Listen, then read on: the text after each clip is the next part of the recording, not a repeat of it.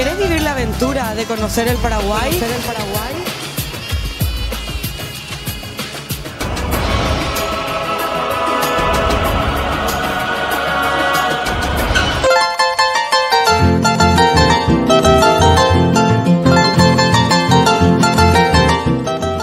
Muy buenas tardes. En esta fecha muy especial, primero de enero del 2023, les deseamos muy feliz año nuevo y les invitamos a seguir viajando por todo el Paraguay como hace 18 años para seguir descubriendo el país.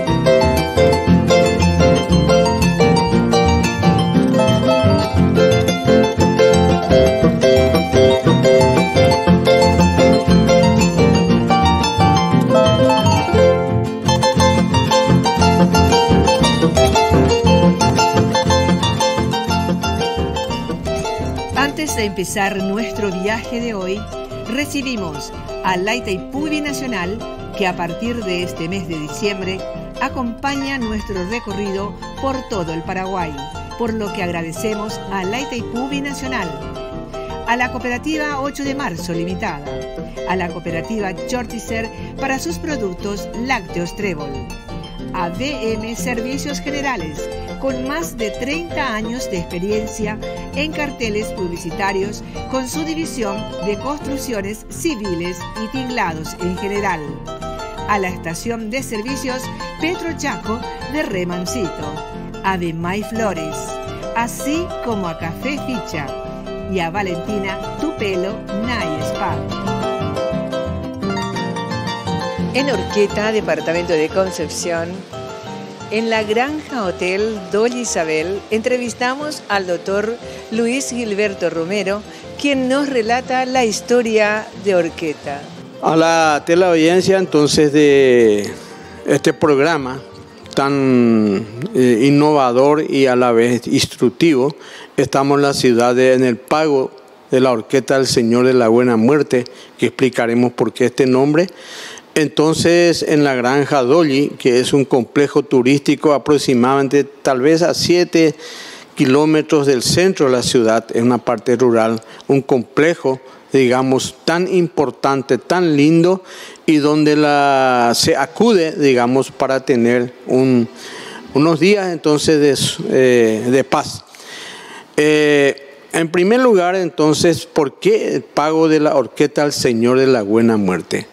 Pago significa paraje. Es, los españoles en este sector de América vinieron, era un sector desconocido para ellos y por lo cual entonces acudieron. Don Pedro de Mendoza, que fue nuestro primer gobernador adelantado del Río de la Plata, con residencia en Asunción, llega justamente y lo primero que él hace porque esta gente no era gente honorable, sino gente peligrosa que vinieron de las cárceles, condenados y compañía. Entonces se presentan y lo primero que le pide a un cacique, 14 eh, niñas de 12 a 14 años, dijo, estas son para mis mujeres. Y lo primero que hizo eso, pegadas de cuerda y, digamos, en, en, concreto era el valor, que, digamos, entre comillas, que ellos tenían.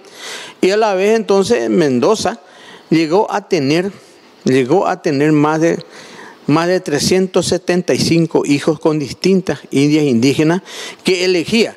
Cuando él elegía una mujer indígena, esposa de algún, de algún cacique o lo que fuera, y si no le quería dar, sencillamente le ajusticiaban al indígena y llevaban la mujer. A la vez entonces, como era una zona, digamos, inhóspita, vinieron la compañía de Jesús. San Ignacio de Loyola estuvo inclusive por acá porque todavía vivía y hacía 37 años que fundó la congregación de Jesús, Compañía de Jesús, los jesuitas. Y a los jesuitas entonces se les dio el territorio del río Tevicuarí para aquel lado, hacia el sur. Allí ellos, eh, todos los indígenas que estaban a aquel lado del río les pertenecía, digamos, a los padres jesuitas y todos los indígenas de este lado a los españoles. Entonces, ¿qué ellos hicieron? Eh, tuvieron dos regímenes, digamos, de sometimiento de los indígenas, el mitazgo. El mitazgo en la mitad agarraban los hombres abandonaban a sus familias y se iban por tres meses a trabajar exclusivamente entonces en los sembradíos de los jesuitas y en otras cosas que vamos a explicar y qué ellos hacían. Y les le voy a contar. Los españoles trajeron tres cosas a América innovadoras. El güey, o sea, la vaca de la India, el caballo de Arabia y la rueda. Ellos llevaron los indígenas al principio ramas de hierba mate que ataban por la cintura y ellos masticaban, comían porque la hierba mate es un nutriente y a la vez tomaban el tereré. Y después como estaban en ese régimen, eh, digamos, sin liberarlos, empezaron a enfermarse, a marearse, a estar lánguido, a desmayarse y los curas que eran de otro más inteligente le llaman a los cachiques que estaban ahí, le dice, ¿qué les pasa? ¿Por qué están todos así?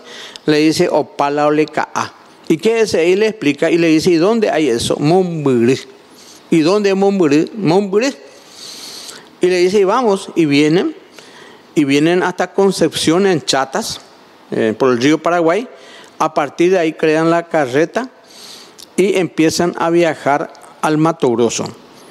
Venían, el primer tirón, digamos, de, que salían, venían a dormir al paraje acá, a Orqueta por un camino se iban por Paso Tuyá, que es ahí, por, por digamos, cruzando el arroyo Cañatá, y el otro grupo se iba ahí por Paso Barreto hasta Bellavista. Entonces había dos vertientes que traían la yerba mate. Y se fueron y trajeron, más inteligentes los curas, ustedes saben, trajeron los plantines de la hierba y lo adaptaron a Itapúa. Y hoy la poderosa hierbatera del norte de nuestra fuente es Itapúa y nosotros perdimos todo. Bueno, ellos se iban, pero llegaba el primer día aquí y dormían. ¿Y qué había acá en el paraje? Había cualquier cantidad de mujeres prostitutas que saciaban, digamos, eh, a los hombres y de aquí partían a Pontapona un mes para llegar a Pontapona, vamos a referir a Pontapona, un mes para volver 60 días sin la carreta, como dice un rancho campesino que sirve de, todo, sirve inclusive para eh, dormir, para tener sexo, más cosas. Entonces ellos querían llegar a Orquetas a ver con la sexo la cuñangüera. ¿Y con quién se acostó? Hoy con el carretero Francisco se acostó Lucía. Cuando vino de aquellos lados a los 35 días, le busca a Lucía, Lucía que se llama Entonces se acostaba con Julano y se iban embarazando, no había anticonceptivo. Y este, un jesuita de Belén, justamente el, padre Andrés Salinas, ese es el nombre, dijo, se meten todos entre hermanos, eh, tienen todos hijos entre ellos, consanguíneos. Entonces pide al Real Cabildo Eclesiástico en Asunción, para el arzobispado, para entronizar, poner el trono como reita al Señor de la buena muerte. ¿Quién es este? Cristo en cruz, porque Cristo buenamente aceptó morir por nosotros en la cruz para lavar nuestros pecados.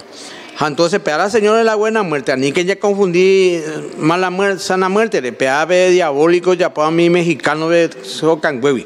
No, Señor de la buena muerte y paraje porque era pago, porque es un paraje de carreteros, y a la vez entonces le entroniza y solicita para bautizar y otros sacramentos. Ah, por esos sacramentos hay que tomar esa mental a las personas mías para que no exista esto que estamos hablando. Entonces el Real Cabildo Eclesiástico le autoriza el 10 de mayo de 1793 para entronizar al Señor de la Buena Muerte, hacer la misa y los bautismos. Entonces, ¿qué es lo que nosotros celebramos el 10 de mayo? La autorización de la primera misa y bautismo masivo, entonces, de aquellos ciudadanos aquella vez. Y entonces, eh, porque Orqueta no tuvo fundación directa, sino nació indirectamente de esta manera.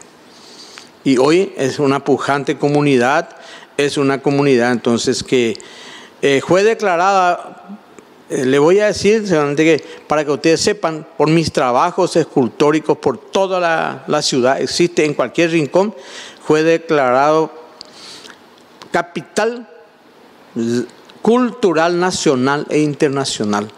Y a mí me llamó la Cámara, la bicameral, y me, hicieron un homenaje y me entregaron una certificación con, con el título de Capital Cultural Nacional e Internacional entonces del Paraguay.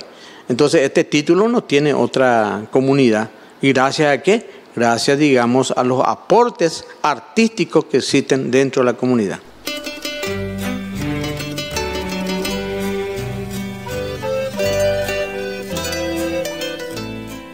Para comunicarse con la producción al 0981 40 45 15. No se muevan, que tenemos mucho más para mostrarles en Descubriendo el País.